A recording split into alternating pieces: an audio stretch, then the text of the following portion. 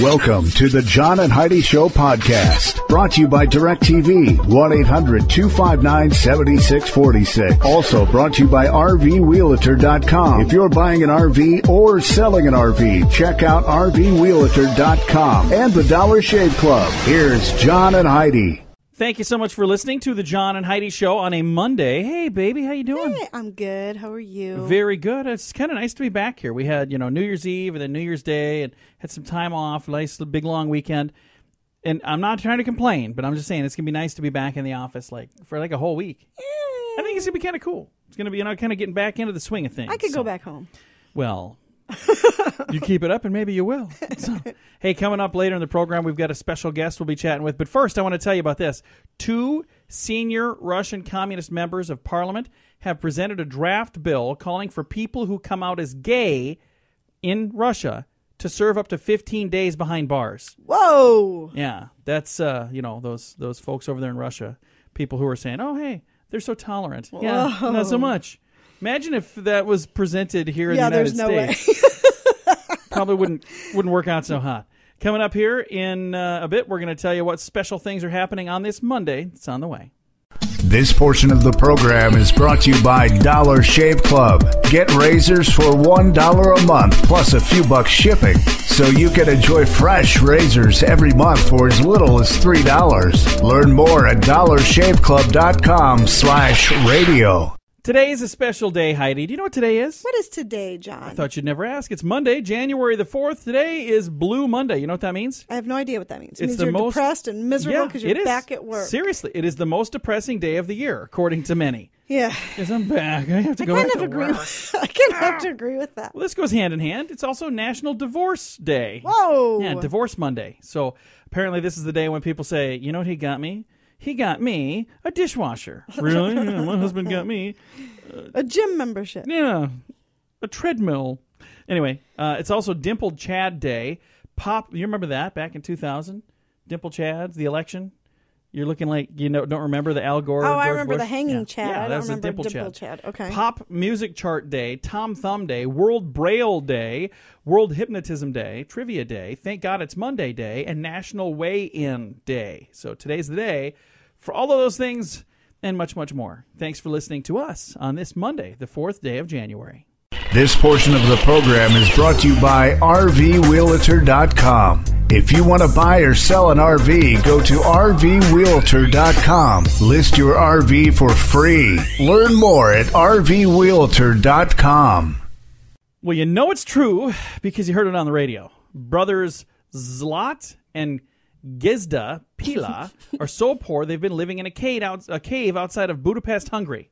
They sell scrap that they find on the street for pennies. However, they, along with their sister who lives in America, are about to inherit their grandmother's massive fortune of four billion dollars. Whoa. These guys are cavemen right now. Literally, they live in a cave. Whoa. They're gonna they're going to inherit grandma's four billion dollar fortune.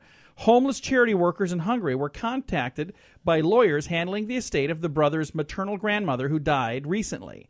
43 year old Giza said, We knew our mother came from a wealthy family, but she was a difficult person and severed ties with them, and then uh, later abandoned us, and we lost touch with her and with our father until she eventually died. Under German law, direct descendants are automatically entitled to a share of any estate. Now the brothers are obtaining copies of their grandmother's death certificate and proof of their family's connection before traveling to Germany to claim their inheritance. So I got an email once that said that happened. Hey, uh, Yeah. just send us a bunch of money. Uh, I got to say something quick. About a week ago, I posted a thing because everybody was online talking about this whole uh, what's the guy's name? Mark Zuckerberg. Gonna give him uh, four, four million Right. dollars. So I found a picture of him and I threw it online, being completely kidding. I posted this and I said, "Hey, congratulations! Uh, good luck! I or listen to this. My good. I don't know what I said. I don't know. What I said. I had Tourette's apparently. I said, "Hey, I, I won. Thank you to everybody that was telling me about this. I won. I got a letter from a guy that says he's Mark Zuckerberg's attorney." Uh, he's in Nigeria, and all I have to do is give him my bank info, and they're going to transfer all the money to me. I said this as a joke, and you would not believe how many people thought I was serious. They're all like, They're "Don't do it, John. That's a John, scam." that's a scam. Don't do that. I'm like, "S- seriously, you I'm thought not I was stupid. So I, I posted oh, on there. I said I'm I'm absolutely concerned about the number of people who know me and think I'm a moron. So I knew it was a joke. That was the whole point. All right. Anyway, this one is not a joke. These guys, these cavemen that live in Hungary, That's are about cool. to become billionaires, and you know it's true because you heard it on the radio. The John and Heidi Show is brought to you in part by the Keystone Treatment Center. This is your brain, and this is your brain on drugs. We share silly stories here on the program, but addiction is no joke. If you or someone you know suffers with an addiction to drugs or alcohol, make today the day you seek help. Call toll free 844 204 1055. That's a toll free number. Again, 844 204 1055. And this is your brain on drugs. You know you've got a bit of a drug problem when you stop to do drugs while you're being chased by the police. Oh my gosh. And Connecticut, a man stole a car. He attempted to fill up on gas using a stolen credit card. Police were alerted and the chase was on.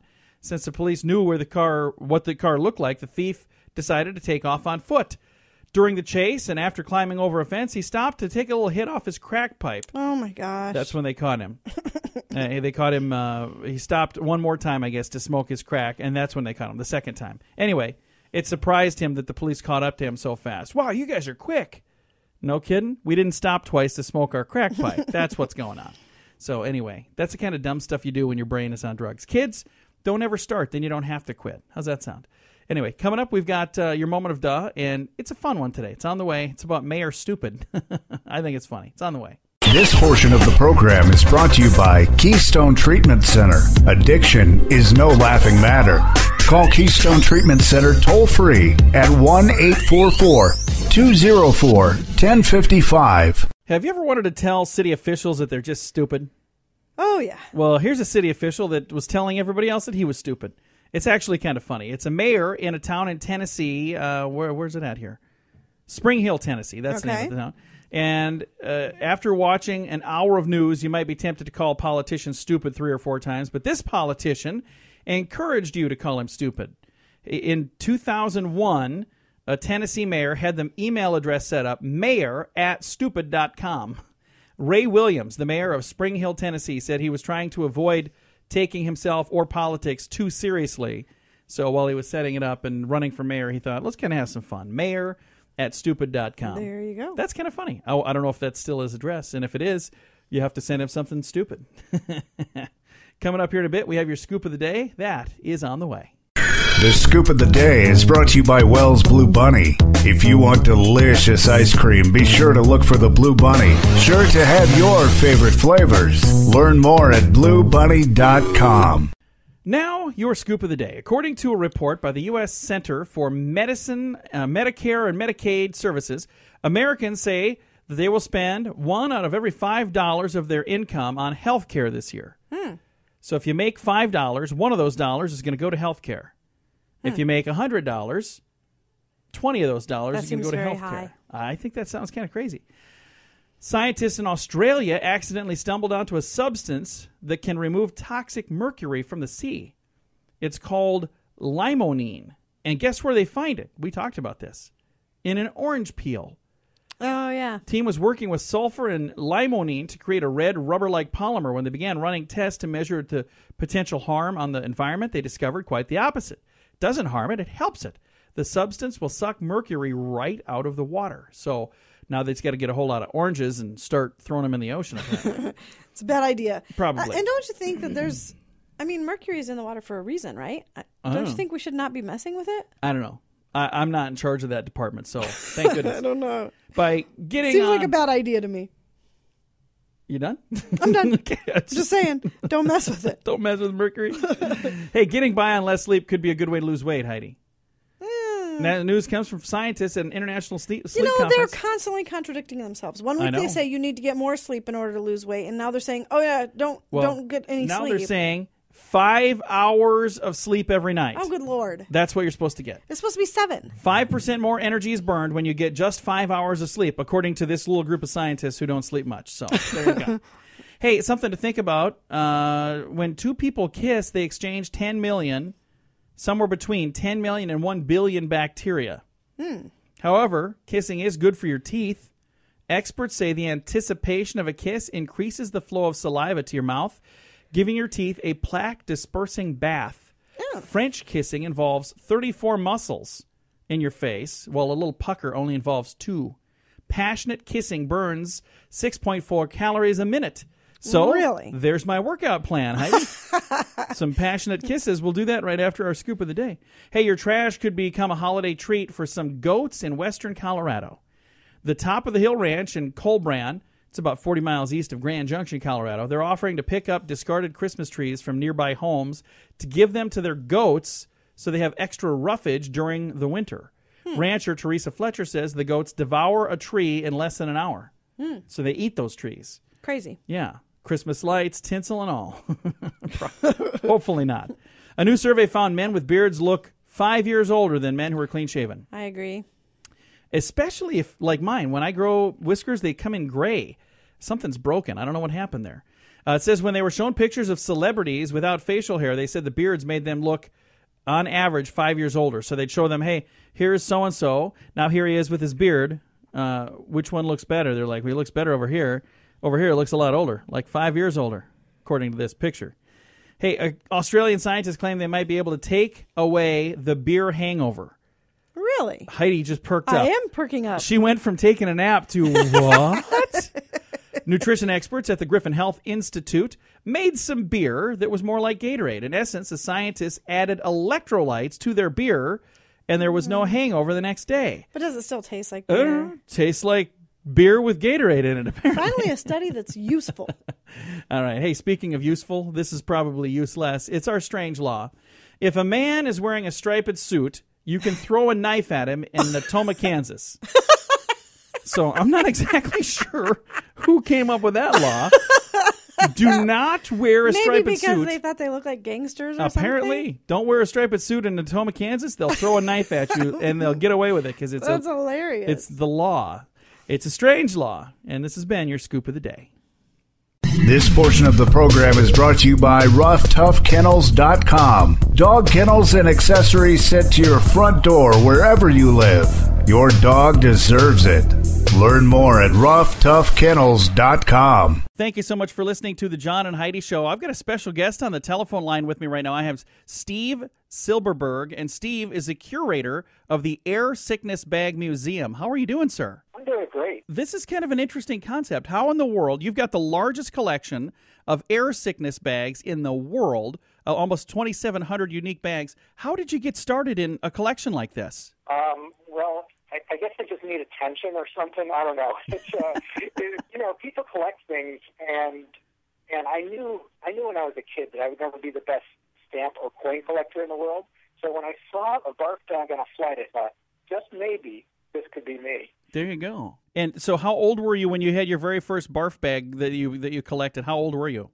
I probably 20 years old. I was on a flight from uh, Boston to San Francisco, and there it was. Are there a lot of people that collect air sickness bags, or is this a pretty rare collection? Well, there are about a hundred of us who collect worldwide, and I do want to correct you and say I do not have the largest collection in the world. I have the largest collection in the continental United States. Okay. Um, but there are about a hundred of us. About half of the collectors are in Germany, believe it or not. So now, why in the world would this be a big thing in Germany? You know, I wondered that myself, and the conclusion that I've come to is that because they have the six-week vacation is standard in Germany, it's kind of a status symbol to say, "Hey, I've been to all these places on my on my long vacation." Okay. Um, and for some reason, it, it appeals to the German sense of humor, but I haven't figured that out. the largest collection in the world, then, is it in Germany? It is actually in the Netherlands. In the Netherlands. It's a guy named Nick Vermeulen. What is the number that he has? He's in the 6,000 somewhere. No kidding. Yeah, it's unbelievable. It shows a real dedication to do that. I think he does it full time. Unfortunately, I have a job and a career and all that.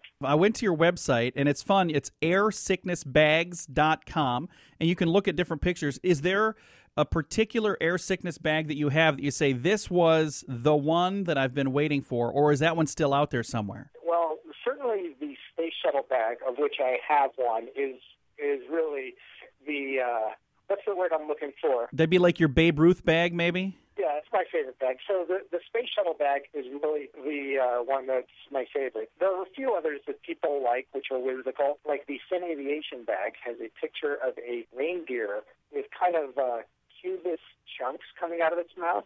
it needs no instructions. It's actually quite beautiful. It's a piece of art, and its function is described perfectly by the photo. Now, how do you come about these bags? Where do you get them? Is this is this something that you personally go out and, and collect them, or do people mail these to you? How do you get the bags? I would love to say that I have been on 2,700 flights, but no, that's not not the case. I collect mostly. I get them by trading. You can also buy them on eBay, which I've done for certain bags. But for the most part, you get them either by trading with others, and occasionally there is another collector who decides that they just lost their passion for air sickness bags and will bestow a collection upon me, and that is just awesome when that happens. Until I saw this information about you, I didn't know this was a thing. But under the just the rare circumstance that the, maybe there's somebody listening that has a collection. If they want to connect with you can they connect with you through the website airsicknessbags.com yes there's a place where it says swaps and donations and just go there. I think my email address is splattered all over the page somewhere. Well, and next time I go on a trip, and I haven't gone on one for about a year, but next time I go, I'll make sure I grab the air sickness bag. I every you know every time you take a flight, folks, they're sitting there waiting for you. Uh, I've never used one, thank goodness, but next time I get one, I'll I'll send it to you, and I'll make sure I send it to you unused. Thank you very much. That's quite considerate. well, Steve, thank you for taking some time to chat with us. This this is really kind of a neat thing, and again, a very unique collection. I, I've never heard of this before, but maybe in the new year, as people are thinking, what can I do to make 2016 really stand out for me? If you're looking for something new this year, maybe you start an air sickness bag collection. And Steve, how long have you been doing this one again? Uh, since 1981. Well, time flies when you're having fun, right? Yes, right. Well, I really appreciate taking some time to chat with us and, and uh, let folks know about something that I bet I bet there's at least one other person out there that had never heard of this. So we're expanding everyone's horizons today. Again, Steve Silberberg, and he is a curator at airsicknessbags.com. He has one of the largest collections of air sickness bags in the world, about 2,700 unique bags, and you can check that out and uh, learn more all about it. And and if you have some air sickness bags, maybe in your luggage that you're saying, hey, what am I going to do with these things? Get all the details on how you can get them to him at airsicknessbags.com. Thank you so much for listening to the John and Heidi Show. This portion of the program is brought to you by CarsForSale.com. If you're in the market to buy a car, truck, or van, find thousands of vehicles to choose from at CarsForSale.com. Fun fact for you, Heidi. What's that, John? Scientists in Australia have discovered that new car smell, you know, the stuff they spray in Yeah. your car to make it smell new again, it contains high levels of a toxic air emission that could actually make you sick. Oh, So if you if you like the smell of a new car, you might actually get sick from it. That's what they're saying. yikes. Fun fact for you, Heidi. What's that, John? A very rich man from India named Raj Vijay lost his mansion, his land, and all of his money because he flossed his teeth in the front row of f- what? In the front row of a cow? What does that mean? He flossed his teeth. Oh, in front of a cow. In front of a cow. Hindus believe cattle are sacred. The acts are seen as disrespectful and it's illegal. What? So because he flossed his teeth in front of a cow, they took away his mansion, his land, and all of oh his oh my money. Gosh. Yeah. Shouldn't there be like a warning or something? Should be some sort of. That's crazy. He flossed his teeth in front of a cow and they took everything. That's crazy. So Raj Vijay, I bet you learned your lesson from that. Coming up, going to talk about regifting. Apparently, it's regifting season right now. We'll tell you all about it. This portion of the program is brought to you by StoneGroupArchitects.com. It's more than a building, it's design and function working together. Check out the project portfolio at StoneGroupArchitects.com. Did you know that January is a very popular month for people to have their Christmas parties? Because there's so many people trying to have Christmas parties in December Yeah, that things are booked. So there's a ton of people out there that are still going to be having Christmas parties this month. And this is interesting because now it's regifting season. Yeah. If you're like most people, you've gotten at least one thing stashed in a closet somewhere that somebody gave it to you and you're like, oh, thanks. When am I ever going to wear Yeah. this? Or where am I going to use this thing? Well, regifting is a practice that you should make sure you know the guidelines. You don't want to ignore these. Here are the guidelines. Is the gift regiftable, first of all?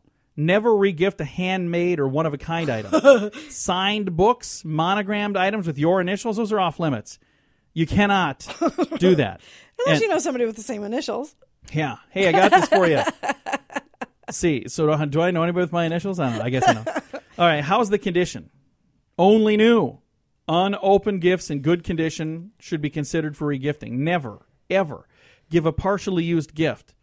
So if you have a gift card that you used five dollars on it, and you say, "Hey, it's a twenty-five dollar gift card," and you got the twenty-five scratched out, now it says twenty, you can't give that away. Don't give items that you've owned for a long time. So somebody gave it to you five years ago, and you're like, "Hey, I got this snuggie that I never opened." Don't give that. That's a bad rule of thumb. If you have to dust it off, it's not regiftable. Next, is this thing going to work? Successful regifters use common sense. If you're going to regift something, make sure you know who gave it to you so Yes. you don't return something to the original giver. Only regift items to people who are not likely to know the original giver, too. There was an episode of Seinfeld that showed that. Yeah. Remember that? Uh, do you have good intentions? Don't give a gift just to give a gift. Be sure that the recipient will appreciate the item. Remember, if you feel that an item is undesirable, the whole thing's probably not going to work out. and how does it look? When it comes to giving a gift, go for show. While giving gift bags in good condition that can be reused, wrapping paper is a one time thing.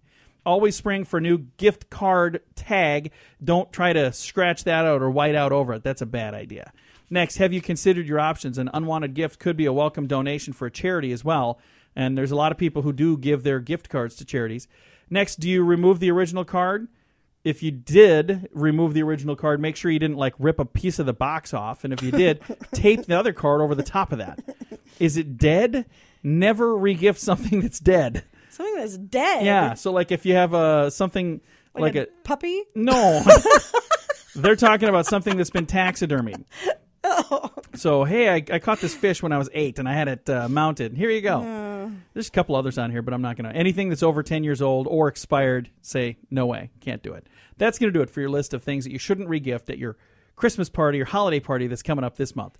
Thanks for listening to the John and Heidi Show on this Monday.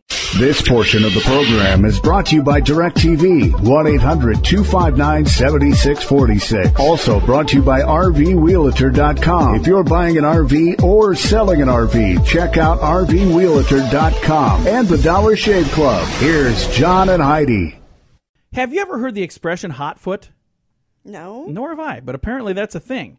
It says having a hot foot doesn't necessarily have to be just an expression. I've never even heard that expression.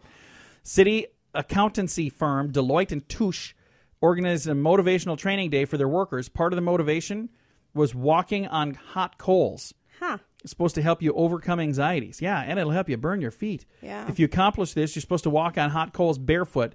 Uh, a woman was walking and she was being cheered on by colleagues. She complained of pain in her feet.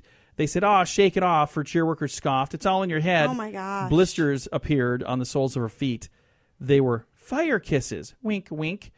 And she was not really doing all that hot. Uh, she was off work for 14 days. Can you imagine what this company's liability insurance must be? Magistrate's court heard the injured woman and it says no more dangerous than walking on barefoot on sand is what the, the people that were putting on the event. Oh, However, it is believed uh, a pedicure fluid on her feet from several days earlier is what reacted to the heat. So it wasn't. Yeah, I'm sorry. That's a bad idea. I don't care. I don't care. I don't care what you've got on your feet. You don't walk around on coals. That's Yeah, stupid. It's. Uh, I've seen people do that. I've just never ever said, "Hey, I should try that." yeah, I know. All right, coming up, we got a time capsule, and I hope this story is a lot easier to read. I was trying to squeeze like three minutes worth of stuff into a minute there, and that didn't work so hot. But I got a good story on the way. This portion of the program is brought to you by GunUp.com. If you're a gun lover, you'll be in heaven at GunUp.com. Built by experienced military veterans, shooting sports competitors, and publishing professionals. They have awesome stories and articles that are read by millions of gun enthusiasts. Check it out at GunUp.com. Got a time capsule story. Workers in Dublin found what they believed to be a time capsule from 200 years ago, Heidi. Oh, cool. They were excavating a site in Dublin. They dug up a mysterious stone and metal box. Archaeologists believe it's a time capsule buried 200 years ago. The sealed container was discovered at a central Dublin site where a monument to the English naval hero Horatio Nelson once stood. Pat Wallace, director of Ireland's National Museum, said the box, measuring around two and a half feet by about one and a half feet, probably contained artifacts of the era, such as coins and newspapers. It's very exciting to find something that was historically tucked away, he told Reuters. The question, though, is have the contents survived? My question is why don't they open it to find out? How are we going to find out? You got to crack that sucker open and Open tell it. us. All right. Uh, coming up here in a bit, I've got a really fun story to share. a thing called cloud advertising. Okay. it's making advertisements in the clouds. Okay. Why didn't I think of this? I don't know. is such a cool idea. We're going to tell you all about that here in a bit. This portion of the program is brought to you by Dollar Shave Club. You can get razors sent to your door each month for just $1 plus a couple of bucks shipping. It's an amazing deal. Log on to dollarshaveclub.com slash radio to learn more. That's dollarshaveclub.com slash radio. Now, back to the John and Heidi Show podcast. These days, everybody's talking about the cloud, right, Heidi? Right. Well, how would you like to make your own cloud with your logo on it and push it into the sky? There's a company that's doing this. Francesco Guerra, whose company Snowmasters Incorporated makes machines that churn out fake snow for Hollywood films. But he's also the man behind the latest advertising sensation that's sweeping the nation. It's called Flogos.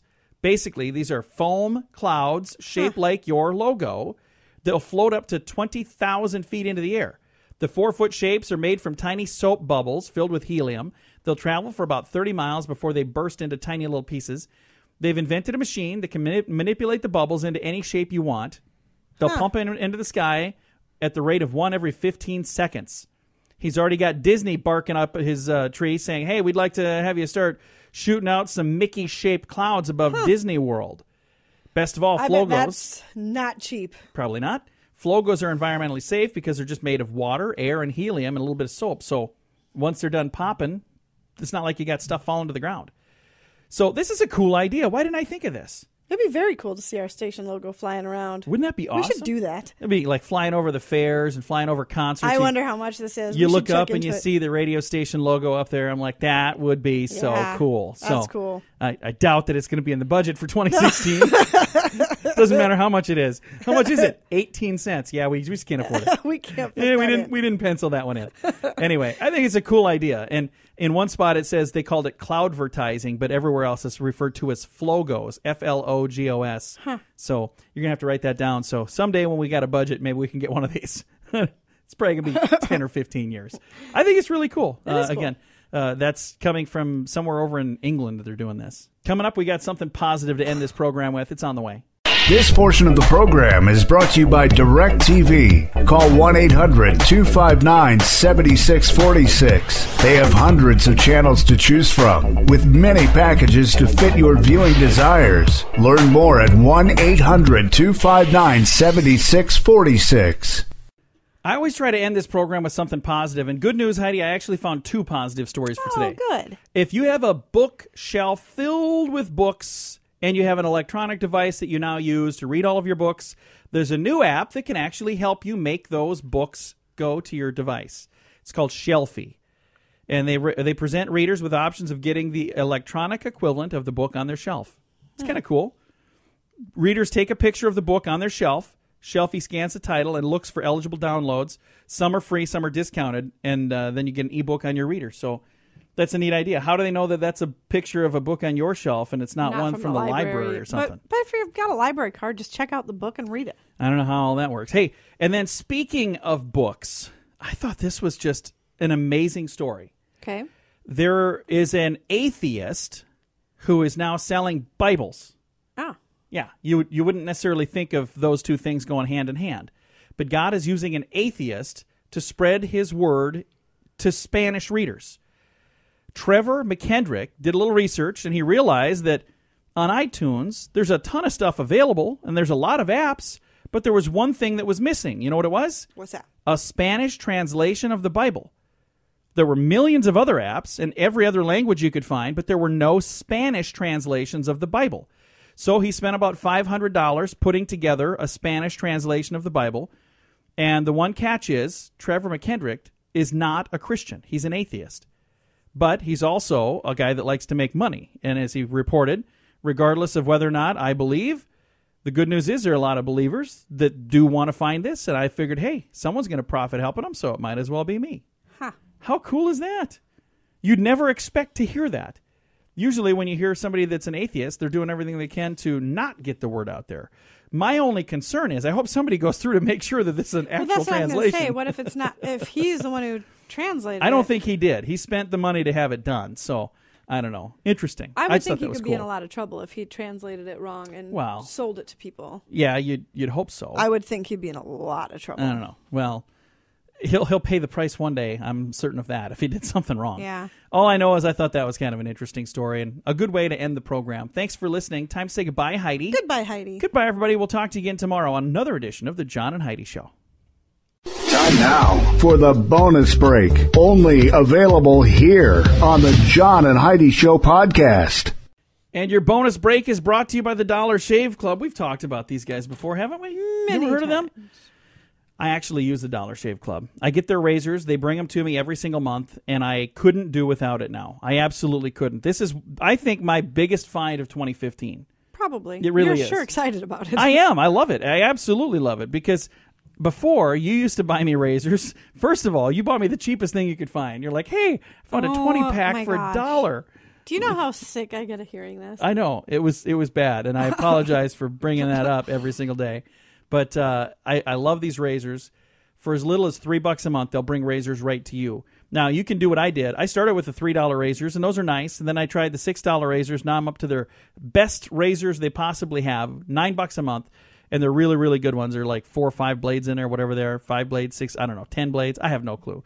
All I use them for is shaving. I don't count the blades. But you can check it out at dollarshaveclub.com slash radio. And I've got quite the story for you here. Have you ever heard of the Slinky? Oh yeah. Did you have a Slinky as a yes, kid? I've had many sleekies. Do you know how the Slinky came about? No. Buckle up, Heidi. It's a fun little story. Slinky, Slinky. Remember the little commercials? Mm-hmm. And is it's a wonderful toy made for a girl or a boy. But the Slinky, about 63 feet of wire, was originally developed to be a toy. But other applications for the Slinky have been discovered too. The Slinky has been used as an antenna by soldiers in Vietnam. Slinkies have been used as therapy tools. They've been used as coordination development for coordination development. Oh, so like somebody that uh, is trying to get their coordination skills back. It's it's helped with that. Possibilities are endless. The Slinky's also been used in movies. Slinky's appearance includes Ace Ventura, Yeah, When I remember Nature that Calls, when nature calls. Demolition Man. Honestly, that's what I was thinking of. As soon as you mentioned Slinky, I was thinking of Ace Ventura. What was it that he did in that? He pushed it. He was living in that Buddhist temple. Remember? oh yeah, And he pushed it down all those stairs. That's right. I forgot about that. Demolition Man, it was in. Other People's Money and Hairspray. Disney's digital animated feature Toy Story, the Slinky Dog played an important role. Hi- His name was Slinky or mm-hmm. Slink. But here's where it came from. For those of you who've always wondered, where in the world did that Slinky come from? I did the research for you. yeah, you did. Somebody else did it. I, I found it. So, uh, but in 1945, Richard James invented one of the coolest toys ever, the Slinky. James was a naval engineer, and they were conducting an experiment with tension springs. During his experiment, one of the springs fell to the floor and it began to, quote, walk. James took that spring home to his wife, Betty, and he asked if she thought this would be something that maybe would be a fun thing for them to pursue. Betty had a vision for a toy and scoured the dictionary looking for a word that just might work as the name. She came across a word, slinky. Do you know what it, what it is? No. It's a Swedish word meaning stealthy, sleek, and sinuous. Ah. That's what that means. Toy history was made. The Slinky debuted at Gimbel's department store in Philadelphia, Pennsylvania, in 1946. Richard and Betty were skeptical about how Slinky would sell. All their doubts were put to rest when all 400 Slinkies that they made sold in 90 minutes. That's crazy. Mm-hmm. Since then, guess how many Slinkies have sold? Oh, Over a quarter of a billion. Yeah, So over say 250 billions. million. The That's Slinky is still made in Hollids, Hollisburg, Pennsylvania. Hollidaysburg. I don't know if I'm saying that right. Somewhere in Pennsylvania. Made in I the love the Slinky. and it still uses the original equipment to make it. Richard James created that stuff way back in the 40s. Slinky has challenged uh, a little over, f- has uh, changed a little over the last 50 years. One of the things that they changed was the end. They put a crimp on the end to make the wire uh, a little safer. Mm-hmm. Uh, before it wasn't quite as safe. So there you go. Now you know. Very cool. I think that's really cool. And we had some interesting proposals. We had one a week ago where a person put a bunch of Christmas lights on a storage unit. Remember oh that? yeah, yeah. Wedding proposals. I thought Yeah. you meant somebody proposed something to us, like business ideas. No, no, no. Oh, that happens all yeah. the time too. They're like, "Hey, you guys are crazy. I want to talk to you about something. Cut this idea." Uh, but no, this one here, uh, I'm talking about wedding proposals. Yeah. So the guy that did all the lights, uh, there was a guy last year that poured a bunch of gasoline on uh, in a field and lit it on fire and Right. ended up burning a field down. Anyway, here are some off the wall proposal ideas. So just in case you're you're looking for a way for your proposal to stand out, I'm, I'm guaranteeing you, you you're going to be able to hear Heidi roll her eyes here in a second. Have your parole officer pass on the request. Oh my gosh. Get "Will you marry me" tattooed on some part of your body. Oh. Handcuff yourself to her and throw away the key. she doesn't have a choice then. Send her an email. Would you marry me? No. Please reply. Uh, burp your proposal. Oh my gosh. Do something really unique and have a carrier pigeon deliver it. Uh, dress up like a That's bride. That's kind of cute. Actually. That would be. You, that one's kind of cute. What if the bird went to the wrong person? That would be Oh, I bad. don't know. Dress up like a bride and show up at her office. Oh my god. That would be. Can you imagine that? That'd be bad. oh. Kidnap her and take her on Oprah and proclaim your love. Oh my gosh. I think that's been done before. and last one, get a restraining order and have her arrested, then tell her she's been punked. Hey, you know, I don't really need a restraining order. I want to marry you. You might want to know her really well before you do any of Wow. those. So there's a list of, of uh, proposal ideas. Since we've been talking about those, that was sent to me some fun ideas to share. What'd you think, Heidi? Uh, no. Was it worth saving for the bonus break? Oh, sure. Yeah. Mm-hmm. Absolutely. Hey, a Western Virginia man tried pawning a digital camera that he stole at a convenience store, but he didn't erase the pictures of himself holding a gun and wearing clothing that he was wearing at the time of the robbery. According Oh, to police, they made it easy for them, and he faces a 10 year sentence now if convicted, and he's the one that brought them the evidence. What an an idiot. dummy. Hey, a woman who was arrested at Jaeger Airport for twice pulling the fire alarm, causing shutdowns of the airport, was arrested. She said she did it because she wasn't getting the attention she wanted from Continental Airlines personnel. She was caught both times during the airport Oh evacuations because she was standing around by herself laughing. Everybody else is freaking out, going, "Oh, the place is on fire!" She's like, "It ain't on fire. It was just me pulling that alarm. Continental, I got your attention now." Oh, And then finally, an elderly gentleman recently walked into a Sacramento, California police station and told the officers officers that he thought that he had robbed a Wells Fargo bank earlier in the week. The officers did not? Yeah. Officers did not take his confession very seriously because who would walk in and confess like that? Plus the man was very old. Obviously, he had some ailments. He was carrying a hospital bag and he explained that he had intentions of remitting himself to a psychiatric hospital. With that in mind, cops thought he must be confused uh, plus, he couldn't remember which bank it was or where he did it. Well, come to find out, the FBI discovered that, in fact, a senior citizen Oh had gosh. robbed and a they bank. let him go. And in addition to that one, there were two more, three more. So there were four banks total: the Wells Fargo that he thought that he had robbed, and then three other banks. So Oh my gosh. this guy's has dementia, and one of the things that he's doing is robbing banks. So I wonder if maybe that's what he did when he was younger. I don't know. That's crazy. He walked into the police station and said, Hey, I think I might have robbed a bank earlier this week. Yeah, why don't you go home? we'll check into that. So hopefully they catch him. I don't know what's going on there. That's going to do it for your bonus break. Thanks for listening to the John and Heidi Show. Bonus break brought to you by the Dollar Shave Club. Learn more at dollarshaveclub.com slash radio.